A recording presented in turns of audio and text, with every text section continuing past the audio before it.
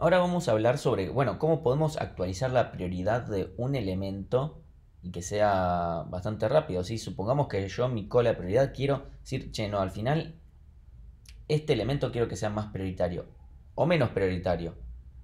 Eh, ¿Cómo puedo hacer? Eh, como tenemos ahora la estructura, eh, necesariamente tenemos que ir y buscarlo en un arreglo y eso va a ser ODN. ¿sí? Si yo quiero buscar un elemento en particular. Eh, a todo esto estamos suponiendo en general, por lo menos a lo que vamos a hacer en, la materia, podemos aceptar duplicados. Esto, como justamente quiero actualizar la prioridad, vamos a suponer que no hay duplicados. O sí, pero por ahora dejémoslo. Entonces, eh, queremos que a lo sumo sea log n. Si yo pudiera saber rápido cuál es la posición de un elemento, directamente eh, voy, voy, voy a esa posición y aplico heap o down heap o aplico directamente los dos, o sea, llamo up heap y down heap y listo, ya está, se terminó. Que suba hasta donde tenga que subir o baje hasta donde tenga que bajar y listo. Em, entonces, nuestro problema es, bueno, ¿cómo sabemos cuál es esa posición en particular? ¿Cómo lo hacemos rápido? Y lo primero que se nos va a venir a la, mente va a ser, bueno, ok, usemos un hash. ¿sí? Yo voy, me fijo en el hash, che, ¿cuál es la posición? O sea, clave, la clave va a ser mi, mi, mi dato del heap y, mi valor va a ser eh, la posición dentro del heap, dentro del arreglo del heap. ¿sí? Eh, ahí tenemos un pequeño problema que nuestros datos son genéricos en esta estructura. Son genéricos, son void asterisco. Y nosotros estamos trabajando con eh, que las claves no eran genéricas, son cadenas. Esa es nuestra implementación.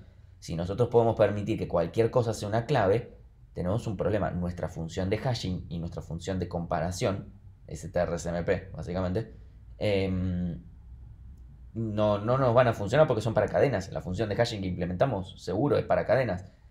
Em, nos van a tener que proveer, o sea, supongamos que, ok, vamos y modificamos nuestro hash para que sea genérico y las claves sean void asterisco, vamos a necesitar que nos den un, mínimamente eh, una función de hashing y una función de comparación para ver, más que una función de comparación, ver si dos son iguales. Em, eso. Y además nos, podrían llegar, podríamos llegar a necesitar más cosas. Por ejemplo, una función de copia. Porque ya vimos en la práctica que es necesario copiar eh, las claves del hash.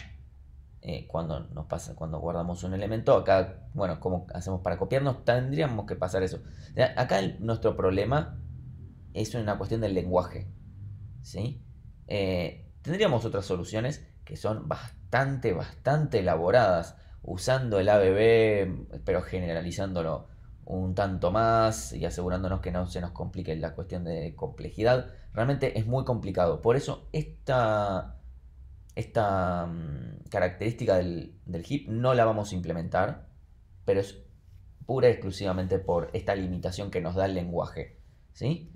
Eh, en otros lenguajes de programación los tipos de datos proveen, pueden proveer ya de por sí una función de hash y una función de comparación. Y con eso ya podemos ir e implementar todo esto de, una forma mucho más natural, que es algo que en C, eh, por mala suerte, estamos limitados y no podemos hacer sin que terminemos teniendo que generalizar demasiado el hash o el ABB y teniendo que hacer muy complicadas esas implementaciones.